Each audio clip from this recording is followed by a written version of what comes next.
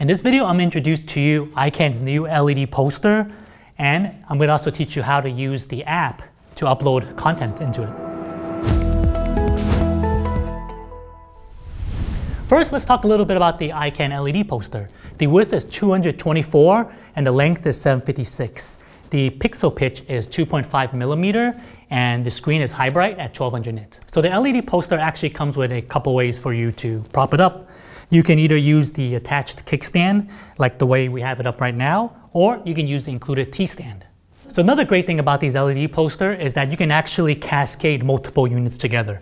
This particular unit here, you can actually attach up to eight of these posters together to create a single image. And of course, you don't have to use eight. You can use any combination you want. You can actually set them even vertically if you want.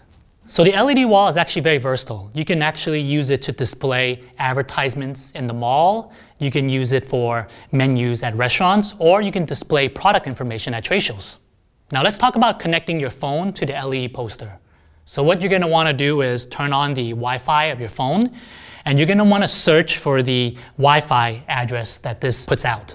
It's going to be on the back of the unit, um, and this particular one is AP70005137. So I'm going to connect to it, and then you're going to be asked for a password.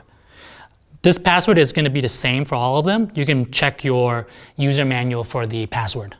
And now that once you see it has a little blue check mark, it's connected, you can go ahead and open the app Viplex Handy. Once your phone is connected to LED Poster's Wi-Fi, you're going to want to open up the Viplex Handy app, which will have a link down below in the description for you.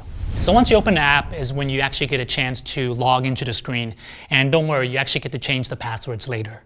So you're going to want to click connect, and by default, you're going to put in admin, and the password is going to be 123456 and you're gonna push login and it'll be connected. When it's your first time logging in, you'll be prompted to change the password. So you're gonna want to click on solutions next to add content onto the screen. Here you'll see I have solution one, which is actually this video we have here. But let's go ahead and walk through what happens if I wanna put an image or another video file on here. So I'm gonna click add solution, and here you can actually customize different template styles of what you want. Um, just for simplicity's sake, we're just gonna do one unit as a whole. I'm tap the first one here, click OK, and I'm gonna tap onto the double zero, click add media, and I'm gonna do an image. And here, it's gonna go ahead and show the images that you have on your phone. So if you put any image on here, you wanna make sure that you have the right resolution. And remember, that's 224 by 756. So here, I'm gonna select this image that we already previously made, click OK, all right, after everything is saved, you'll see a send button on top. Go ahead and tap on it, and then you'll see a screen pop up showing you that everything is being loaded. And as you can see, the image is now loaded. All right, thanks for watching. And if you want to find out more information about the LED poster or any Ikan products, you can visit us at ikancorp.com, and I'll see you next time.